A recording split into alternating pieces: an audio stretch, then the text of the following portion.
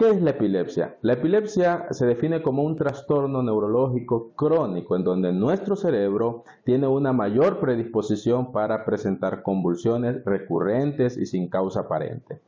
Eso es lo que define epilepsia. ¿Cómo se comporta la epilepsia a nivel mundial? 50 millones de personas viven en el mundo con epilepsia según la Organización Mundial de la Salud y de este porcentaje 5 millones aproximadamente viven en Latinoamérica.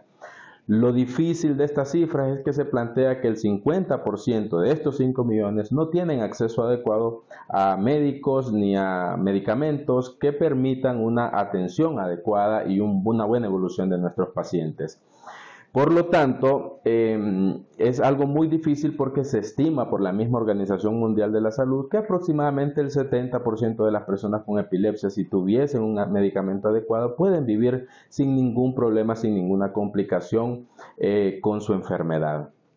En el hospital escuela, que no escapa las cifras eh, estadísticas mundiales, se plantea de que atendemos diariamente aproximadamente un 60% de nuestra consulta diaria es por problemas relacionados a convulsiones.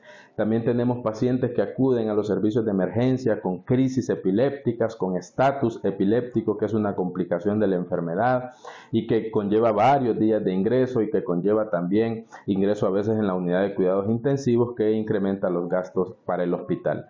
El hospital cuenta con médicos especialistas en neurología, tanto en áreas de hospitalización como en áreas de emergencia y en la consulta externa para atender a los pacientes con trastornos neurológicos.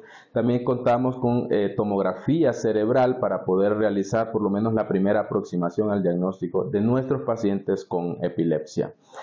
Em, el tratamiento fundamental de estos pacientes se realiza informando y educando a, dichos pacientes sobre su evolución, sobre su enfermedad, para que tengan un mejor control y eviten así los factores de riesgo que están relacionados con la falta de sueño, con el consumo de bebidas alcohólicas, con eh, las fiebres, las infecciones en general, que son eh, datos o factores que puede controlar cada persona. Y también se utilizan los famosos fármacos antiepilépticos para el control de, eh, de las crisis en nuestros pacientes.